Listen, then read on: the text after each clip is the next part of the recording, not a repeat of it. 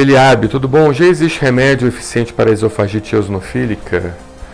É difícil, né? Nós, inclusive, temos uma live, temos uma playlist, né, Daniel, de esofagite eosinofílica. Então, você vai compartilhar essa playlist. Eu já falei muito sobre esofagite eosinofílica, eu vou acabar falando demais aqui. Se eu ficar, vou ficar acabando, vou ficar muito repetitivo, repetitivo, né?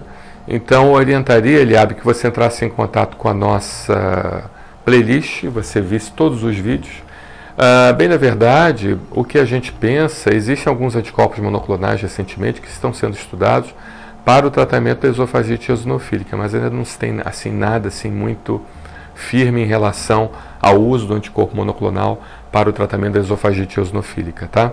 Mas o que a gente pensa realmente é identificar o fator causador, principalmente o alimento, entender que aquele alimento pode estar piorando a esofagite eosinofílica e restringir o uso daquele alimento, fazendo com que o paciente não faça mais uso e, consequentemente, ir avaliando aos poucos a evolução do quadro clínico do paciente, tá bom? Com as endoscopias digestivas. Mas visita a nossa playlist, tem muito vídeo sobre esofagite eosinofílica. A gente tem muita coisa boa lá.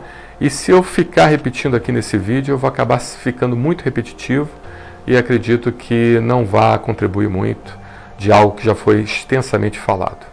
Um abraço, obrigado, Eliabe.